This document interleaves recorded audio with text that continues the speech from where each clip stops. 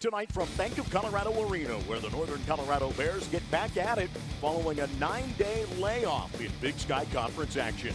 The Bears welcome in the Bobcats of Montana State as the second half of the conference campaign gets underway.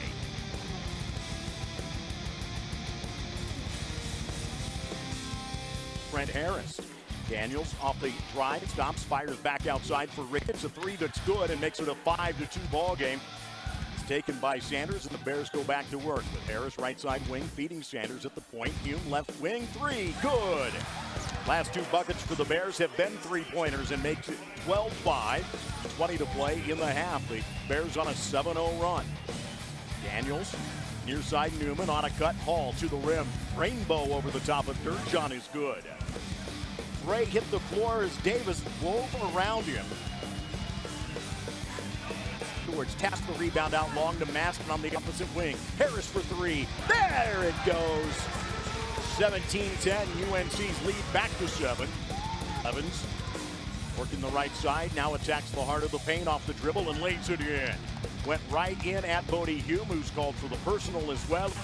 As Harris has bombed three three balls for the Bears to boost the lead back to 10. Both teams shooting under 30%. High right with it.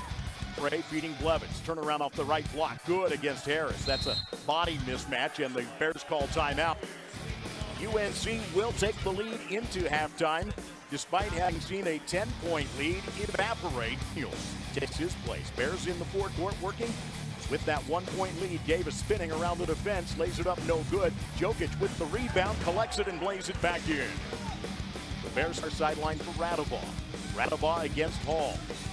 Spinning, fadeaway jumper. Good! Hey, Radebaugh doing that against Hall after seeing Hall do it against him a number of times. How about that?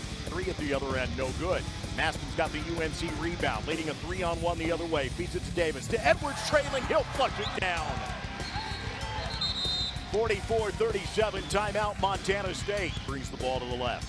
Maston picks up a head of steam, drives to the free throw line. Sanders deep rainbow three. Oh my goodness.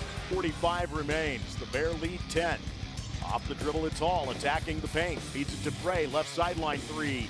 Good. That's a big answer for the Bobcats right there.